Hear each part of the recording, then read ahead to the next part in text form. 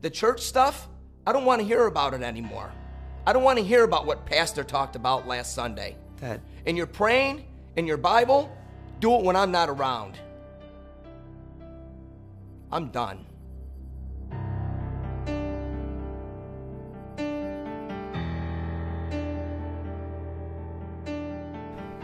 Just keeps running through my mind. If I just would have taken the time to sit there with her and listen. You know, you can't keep complaining about your dad and expecting things to change. We know that we should be an example.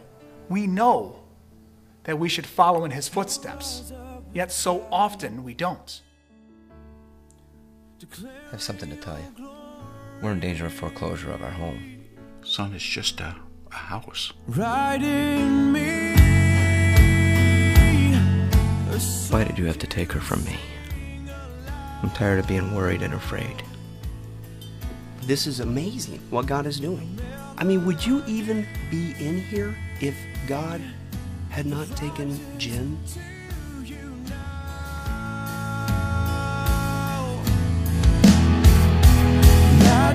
Jen tried to tell me about Jesus a long time ago. The example was right in front of me. My wife and my son. What's with the Bible? I barely got a word out of my mouth. So you didn't hit a home run the first time you went up to bat. Big deal. Oh man. You never did stuff like this before. Ever. I'm different now. I'm out of here. Sean. You and Maggie, you guys been hanging out uh, a little more frequently? Yeah?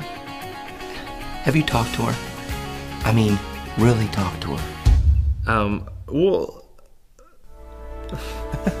Nothing goes to waste. God is the only one who can make beauty out of ashes.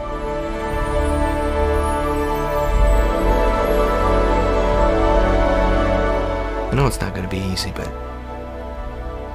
you know, the peace that I feel with him now, it's going to be better. My relationship with Steven, it's going to be much stronger as time goes. There'll be change.